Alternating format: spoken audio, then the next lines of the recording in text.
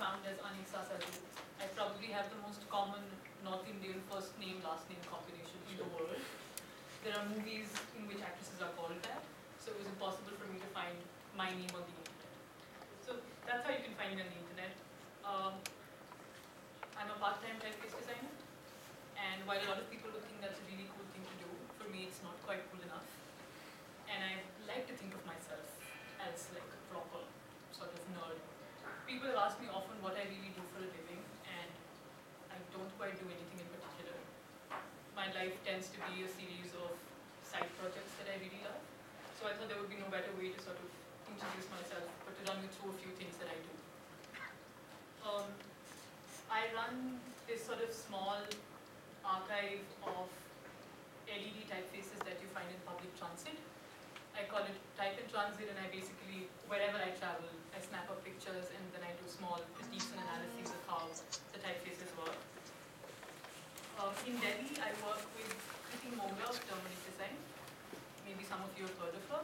And we run this thing called Typeventions, where we build these large public lettering installations with volunteers. And their only purpose is for the people of the city to sort of come and enjoy. There's no other point to them. I love books, and I recently worked with this studio in Bangalore called Part 17 to make a book cataloging app for personal libraries because I had thousands of books and I could never keep track of them. Recently, I worked with a friend who's in the audience today uh, to design a translator between Indian languages and Braille. I'm also working on a documentary film about opening title sequences in Indian cinema. And on top of all of that, I have a food blog. so that's basically what I do. And apart from all these exciting things, in the last couple of years, I went and got myself a master's degree. And this was a degree in typeface design at the University of Reading, which is in the UK. And I was super excited that a lot of people that Vivek mentioned in his presentation were from Reading. So, you know, the Arabic Helvetica, Frutiger, Univer all done by alumni of the university. Lumen was done by an alumni. Ratna Ramanathan is from University of Reading. Uh, so even though the university happens to be in England, there is a large amount of emphasis there on design in global scripts, especially scripts uh, that come from India, which was part of the reason why I went to study there. So after I finished my master's degree in typeface design, I moved to the US, and then I worked at Apple with the font team to basically work on the stuff that you see in OS 10 and iOS.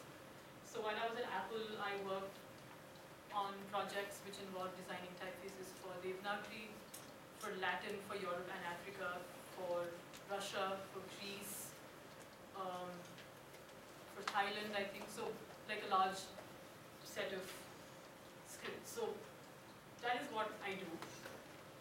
The reason why I'm here is to talk about the typeface that I designed while I was at Reading, and it's a typeface called Cawnpore. Uh, Kanpur is a city in North India, it's where my parents are from, hence the name.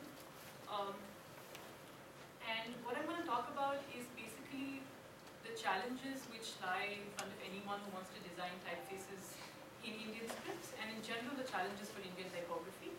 And at the same time, because there are so many challenges, obviously there's a lot of opportunity to do some really interesting, exciting work.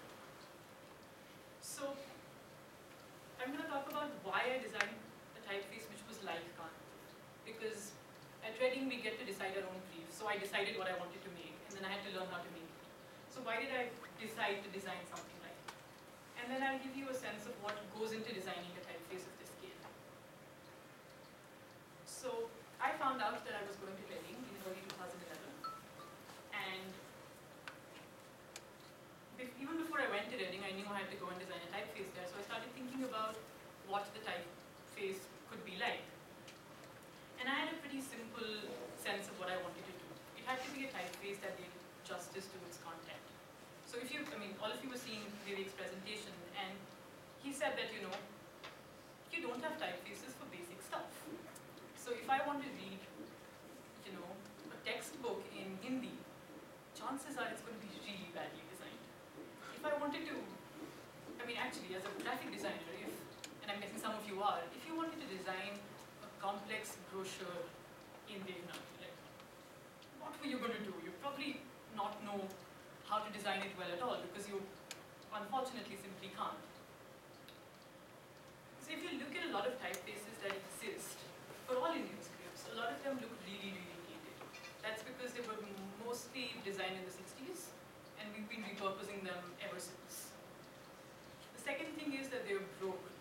So, you know, to give you an example from the Devanagari, you know, you basically have half letters. So if I'm saying the word kya, that is the half sound of k and the full sound of ya. So a lot of times when a word like that shows up, there will be like ugly overlaps and things won't quite sit properly. And that happens for all Indian scripts, not just Devanagari. So a lot of them are just basically broken. And then the last thing is that there are very few resources for good typography.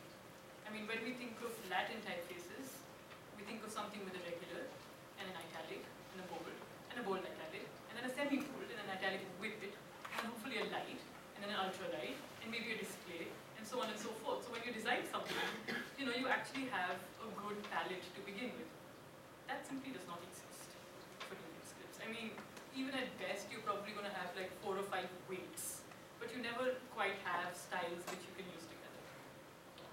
So I got to Reading and I was told that I couldn't just say that I want to design a typeface that does justice to its content. That wasn't sort of good enough for an academic setting. So I came up with a formula. So my brief was a Latin and Devanagari typeface family for bilingual dictionaries. Now, the idea was to somehow sneak in everything I wanted to do into this formula. So Latin is the script that we use for English, French, German, the ABC. Devanagari is what we use for Hindi and Marathi, in case someone doesn't know that. Um, and when I said typeface family, I was very certain that I design just one font It had to be a large set of fonts that could all work together really well. then it was a bilingual typeface, which meant that there were two scripts, and two scripts that looked really different. So they had to be harmonized in a way that they worked really well together. And the last bit was dictionaries, which gave me some sort of a brief in saying, you know, dictionaries are always have really small text, and it's really dense. It's normally not printed very well. And there's pretty complex typography so that gave me the chance to make something which has a lot of styles and weights. So I started off with three problems that I wanted to solve. And so the first question I had to ask myself was, what would the Devanagari look like?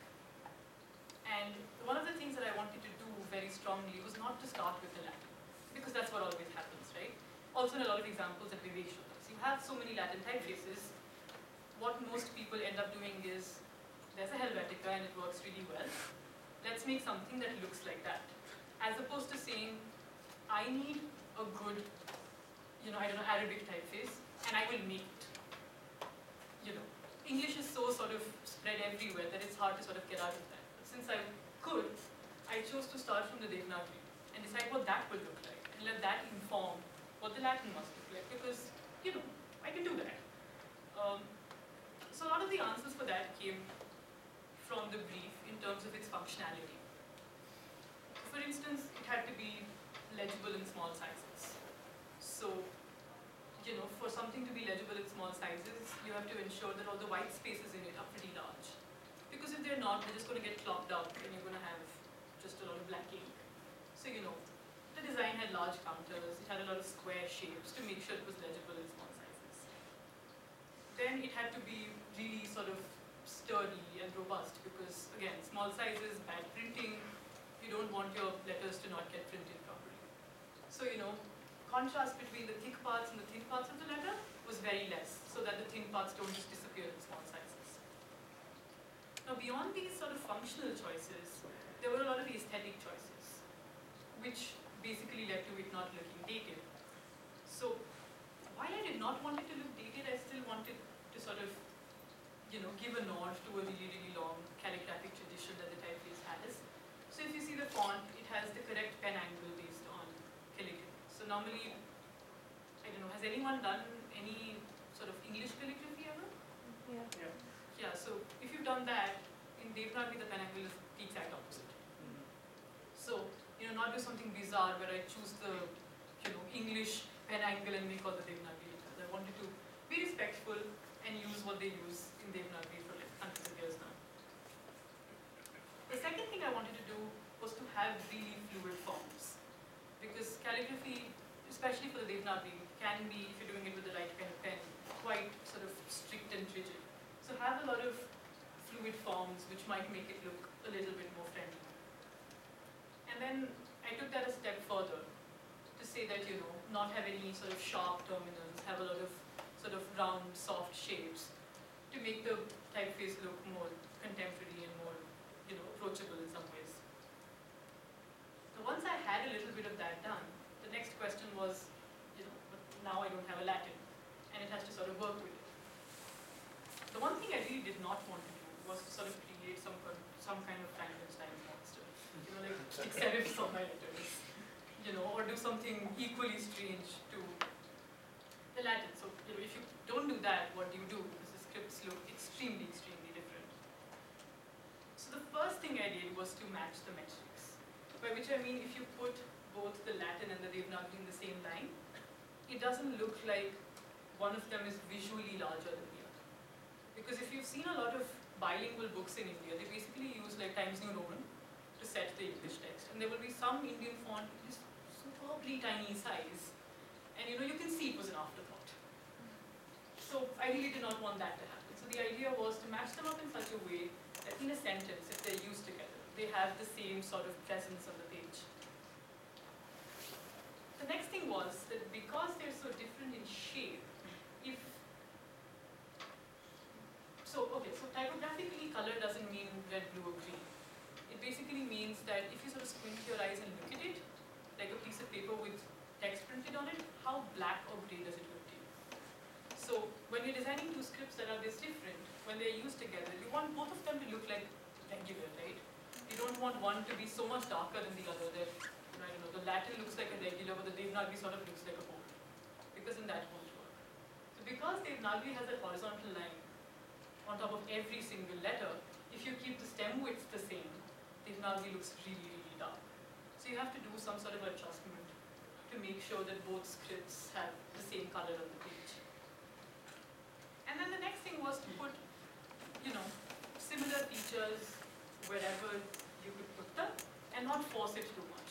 So the inner counters of letters in both scripts have corners. So that's the kind of feature that both scripts can have without it feeling like it's been, you know, forced down its throat.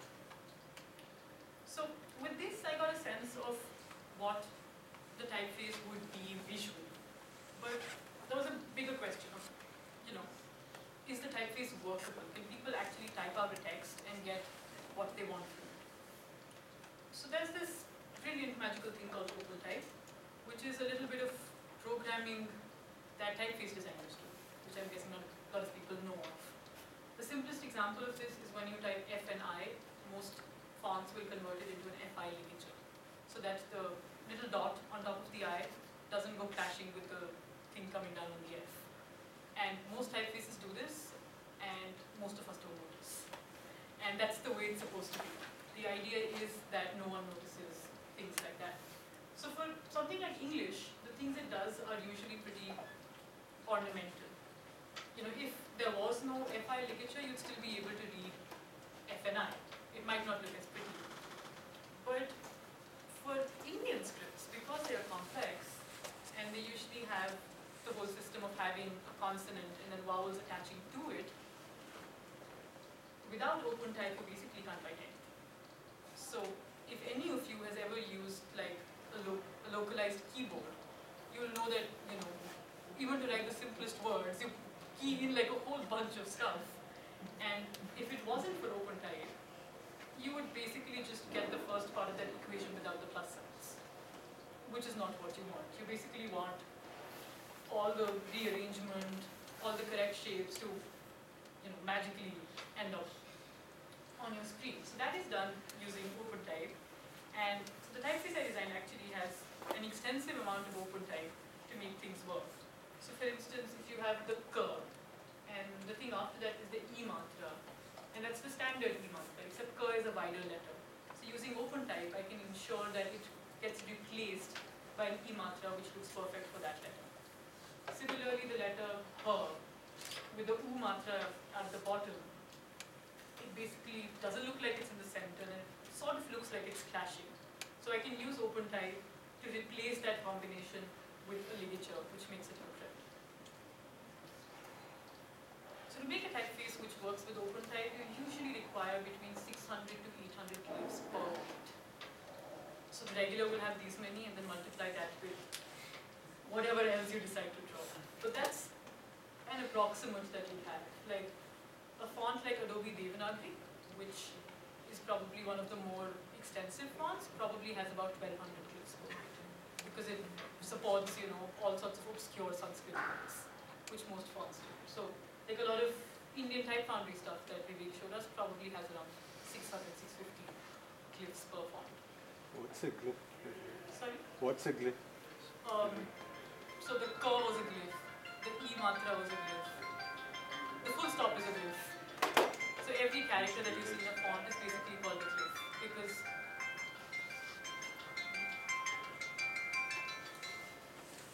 it's possible that for every letter you need you need alternates. Like just Can you like please switch off your phones? like if you go here, the e matra is one letter, but it might need several alternates.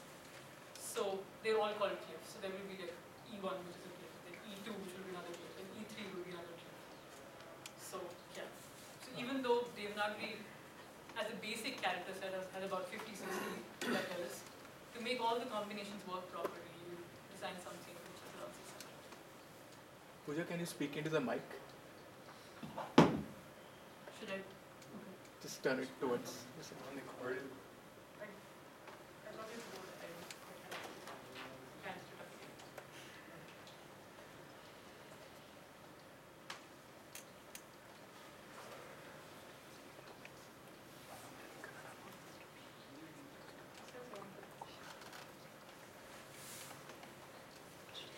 that. Hello.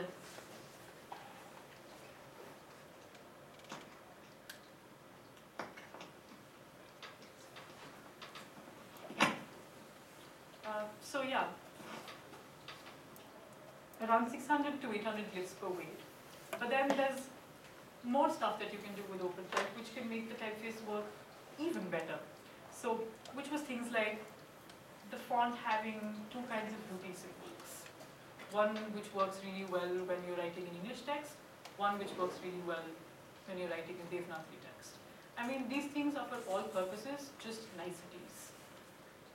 But the thing is that, you know, it's my language that I'm writing in. I would want it to be nice. You know, it's the little things which we don't notice in Latin typography, and because they're missing in Indian scripts, they sort of stand out. Then things like, so full vowel letters in Indian languages basically don't get used in the middle of words. They're always used at the beginning of a word. So a lot of them have very flourishy shapes.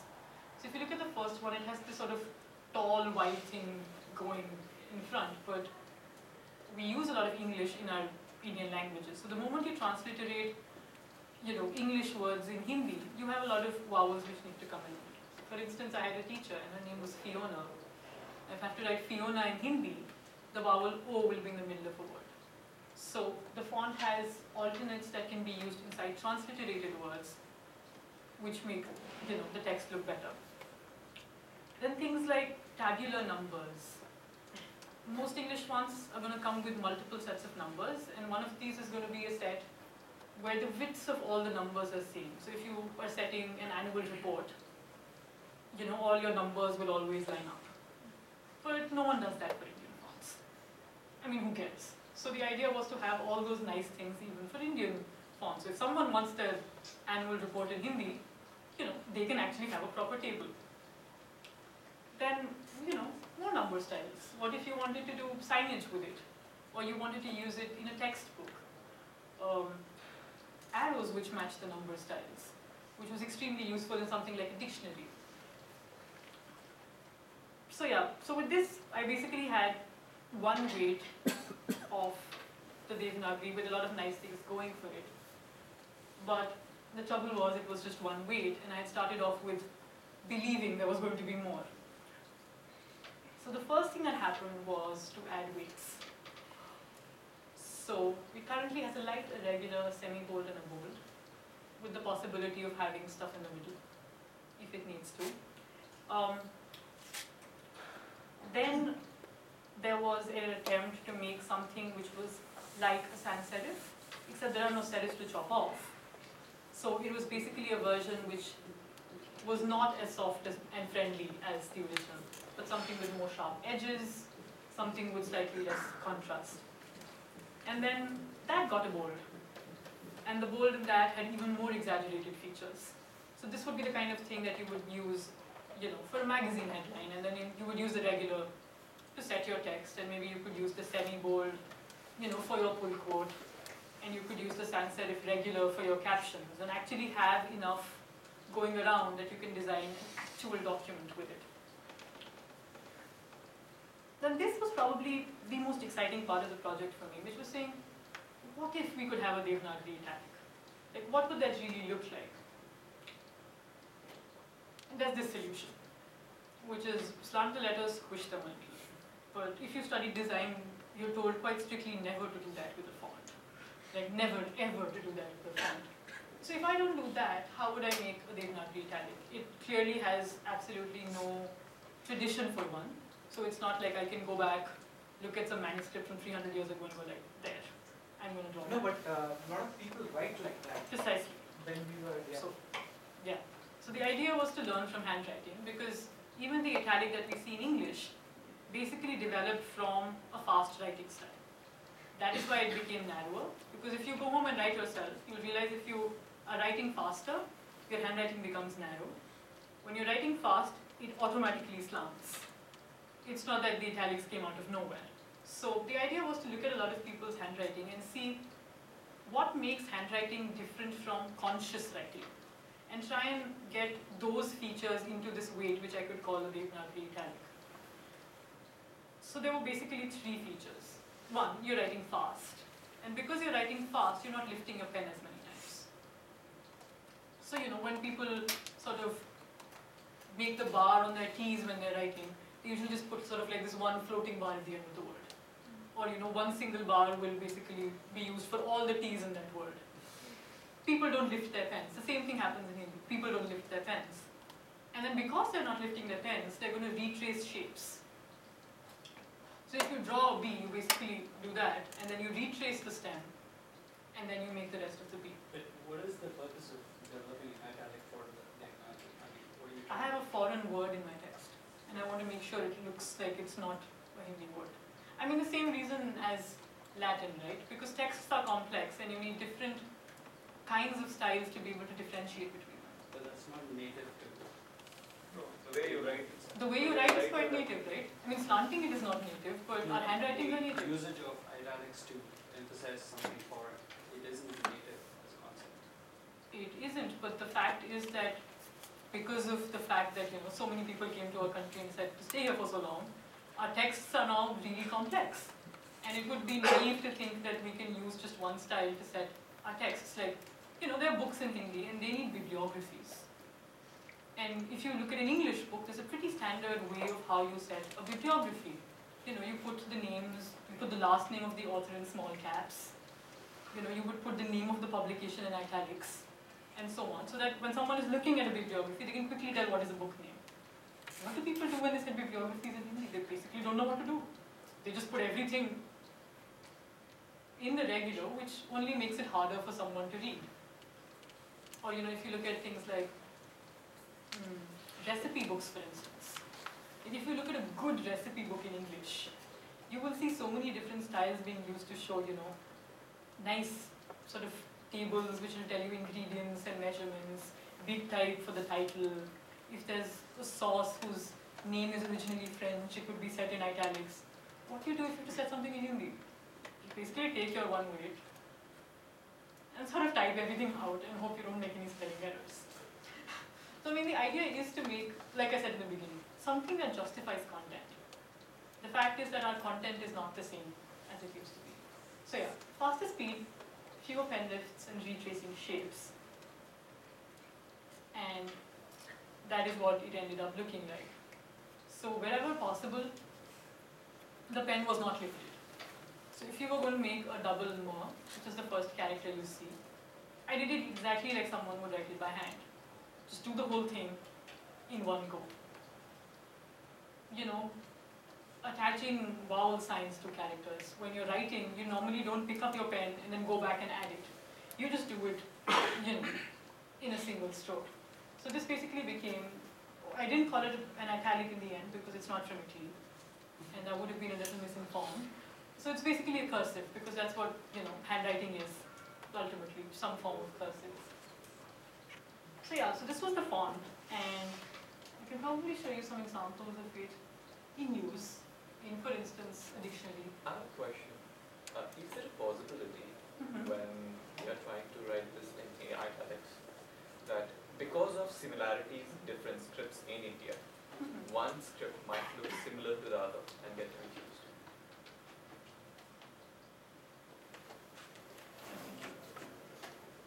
I'm guessing, see, Devanagari looks sort of like Gujarati, but Gujarati doesn't have a headline. So I suppose that's quite simple. Once you don't have a headline, it'll look quite different. It sort of also looks like um, Gurmukhi, but Gurmukhi doesn't have a calligraphic tradition, so it's always monolinear. So this is basically for Devanagari. But I'm sure there could be a cursive for pretty much any script, right? Because the way we see things written on, let's say, a signboard is very different from how we would write a note to someone. We write them fast, and it's usually sort of legible, which is what handwriting is. Right? And the idea of making a cursive typeface would be to pick out features which can be repeated enough that it remains legible, because you won't want a typeface to be legible. I have another question. If the cursive face which you have developed, how is it the same family as the other typeface you developed? I mean, it could be a It's the same as, I don't know, I could give you examples of other. So if you look at these two, you've noticed that the skeleton and metrics are the same. So in that sense, if they are used together, they will have an inherent sense of similarity between them. I think with the weights, it's quite simple. I mean, it is really the same shape becoming fatter. Even if you look at the cursive, you'll see features which are repeated. For instance, the little corner in the inner counter of the curve, which is the second character that you see. I mean, the idea of a typeface family is to have things which kind of look similar. So if you look at Georgia and Georgia italic, they're not identical in any way or sort. They just have some features which lend them a sense of familiarity to each other. That's about it. But yeah, I mean, whether or not the Devanagari cursive fits with it is a question I've been asking myself. And I'd love to hear what everyone thinks about it as well. So yeah, this is it in the dictionary. I think the one on the left is uh, Devanagari, uh, Hindi dictionary. The one on the right is as per English words. Then you know you can use them together, sort of. Since the cursive doesn't really have a tradition, you could use it as a display. There's no one to really stop you from doing that. So the idea was that if there are so many styles, and if they are given out to graphic designers, who knows how they will use them? There's, you know, they might use something in a way that I don't expect. So if you look at the little text on the right, which if someone reads Devanagari reads tomato, tomato, potato, potato, um, actually puts those tomato and potato in the cursive like you would put foreign words in italics. Um, on the one on the left, it just uses it for heading because it looks different. Like this I particularly like, especially the thing on the left, which is a train timetable. So this was like a chance to actually use the Devanagari numbers in a good tabular format. Also to use, you know, numbers with different styles to be able to differentiate train numbers. Having sort of these resources would make this document so much easier to parse than just having, you know, one-sided material. So, yeah, that's that. So did you actually develop a tabular structure for your cursive numbers? Mm-hmm. How? I mean, it just has to be the same width. Yeah, so your numbers. Some letters will be narrower.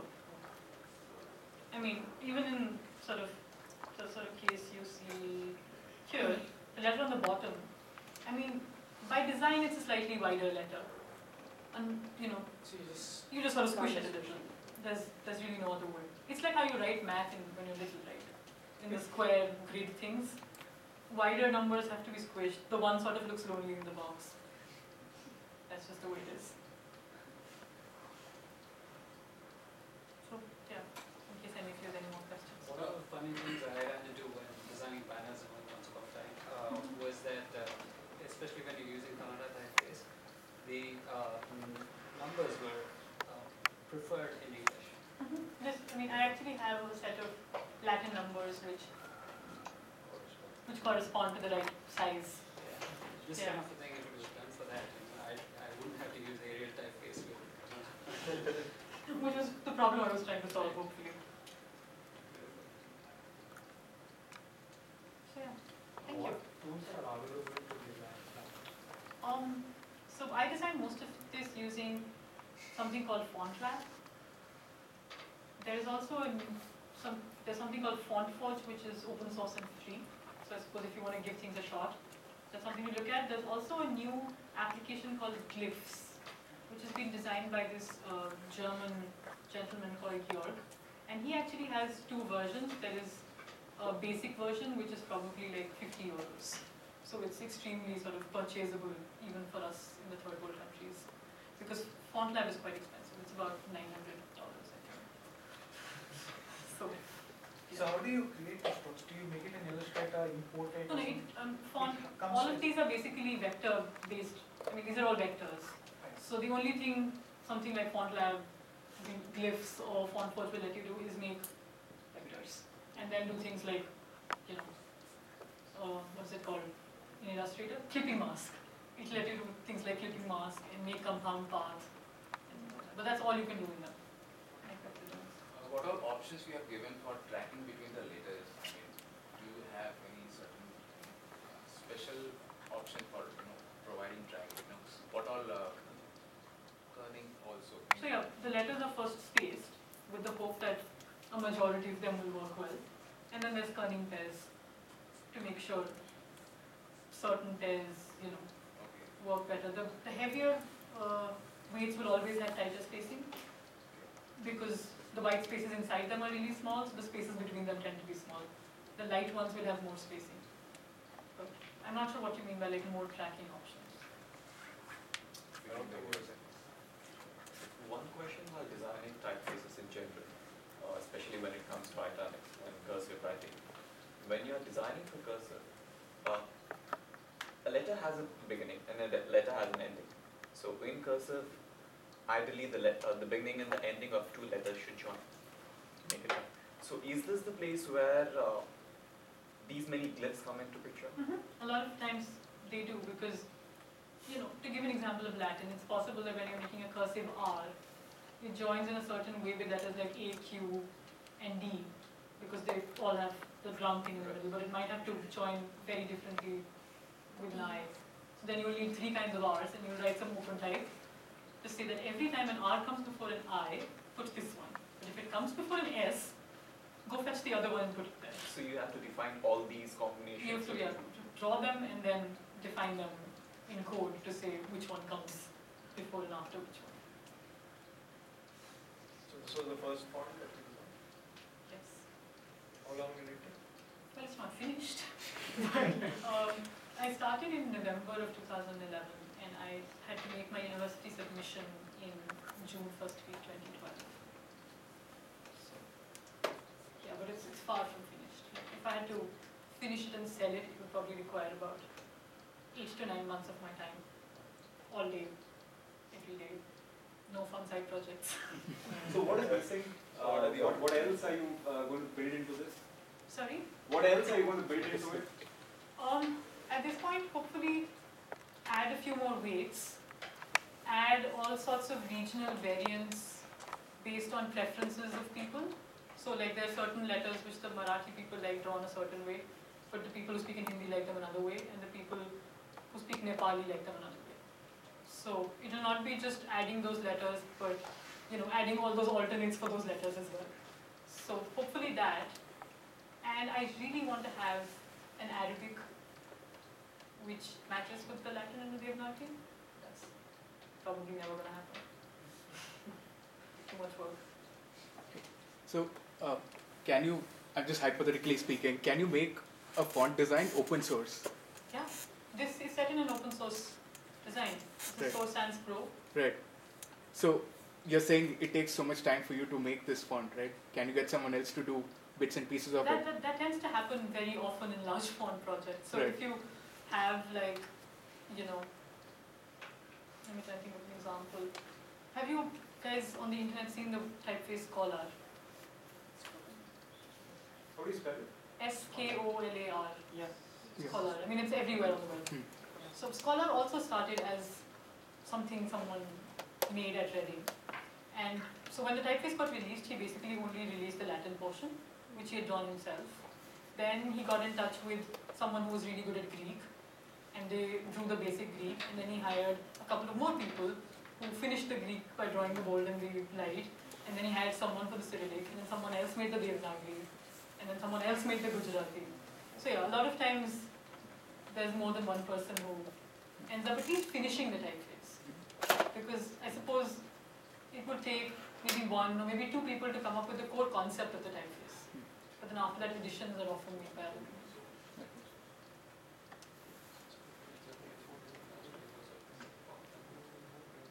One of my frequent interaction with font is when choosing the font in Word or such documents. So how do such fonts get chosen? Who decides, okay, these are the fonts that um, need to be there? So Microsoft actually commissioned a set of fonts many years ago by this gentleman called Matthew Carter.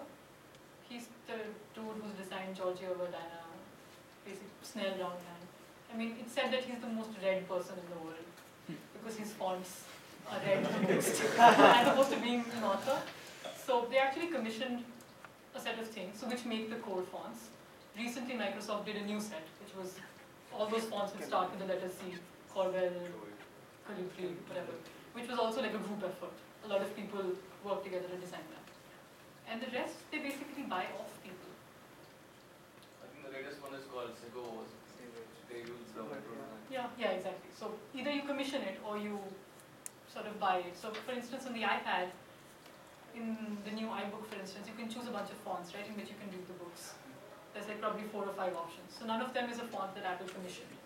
They were existing fonts that people had made and were selling, and Apple went to them and bought a license. So, yeah, mostly they're licensed designs.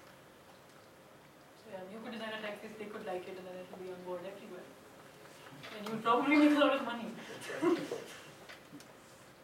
you can also asking how we can get a font and put it in this way, it's going to show up in Word. Did you mean that?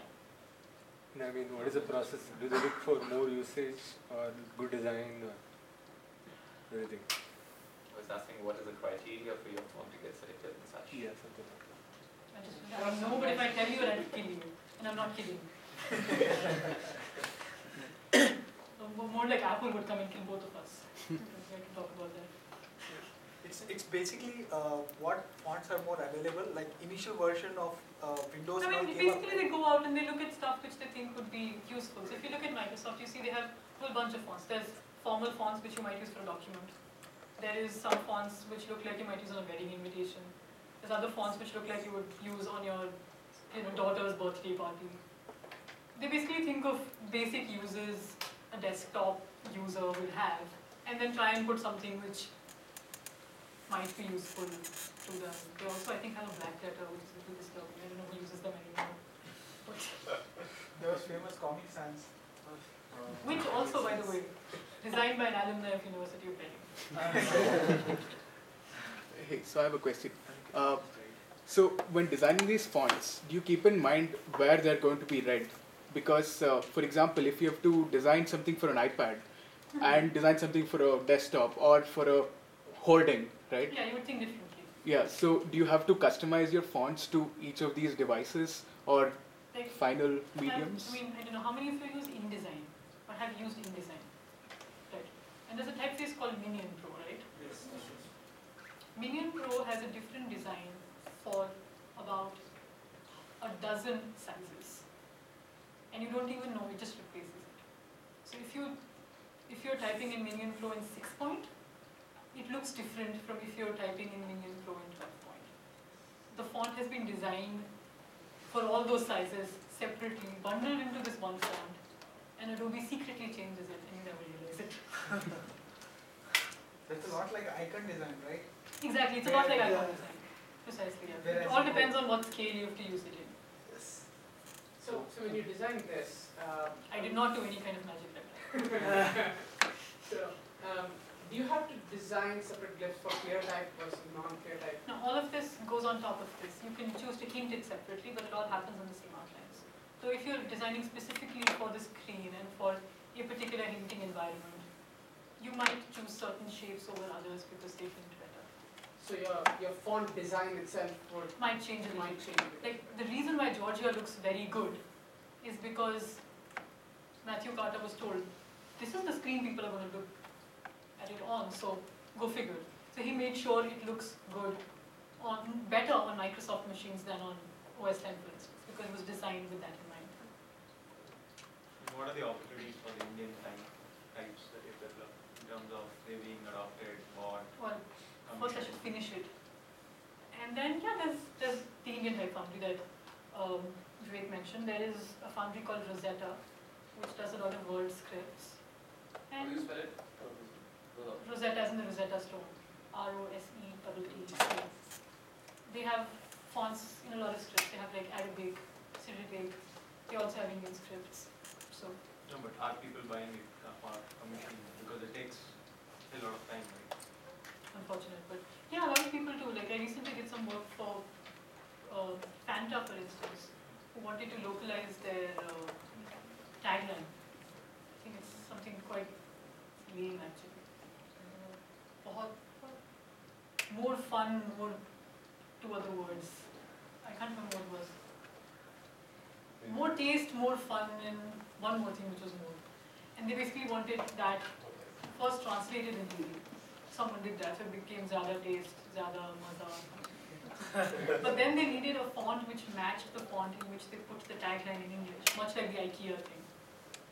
And so, you know, that needed to be developed so Fanta could sell more Fanta, I suppose. So that sort of stuff happens all the time. You know, that mostly because of business, because when they come to countries like ours, in Vodafone, for instance, when they came, they had to commission typefaces in all major Indian languages. So, So, so silly question, but we have localized newspapers all over the country and they all use the same, you know, the fonts I mentioned which were developed in the 60s? they're using Because- fifty-five-year-old fonts basically. Yeah, because the trouble is that they all also have a very strict production system, mm-hmm. and a lot of those production systems are not even calibrated to accept OpenType. Okay. So they basically use the linotype machines. I don't know if you've heard of them. These big, awesome printing machines. So yeah, so they just use the fonts that they were that were being used then. So I mean, new stuff happens, but it's slow. I heard like Linotype has like ninety percent market share, and something like that. some It's actually a really good movie, which might be worth screening on one of the design days. They have a really nice hour-long documentary about What is the name? about linotype. It's a pretty stellar film. What is the name? Last one. Uh, we're currently building a mobile application and going through this exercise on picking a color which basically represents certain attributes and therefore it kind of syncs up with the whole user experience. I'm assuming there must be a similar exercise with fonts. Uh, could you point me to, so we don't have any resident experts on, on this front, but is there any way to pick out a certain font given the context of our application and what the problems we are trying to solve? You just have to be really sensitive and look. There's really no. So, so the problem is actually that's how we're doing it now, but we're not experts. I mean, it's all our gut feeling that this looks good and I think this will achieve our business objective. So our approach to design is that, you know, we are trying to solve very specific business problems mm-hmm. in the mobile phone context and things of that nature. So color is simpler to the extent that there is enough information. Color is both simple and hard. So is typefaces because colors have very particular meanings in very particular contexts. Yeah.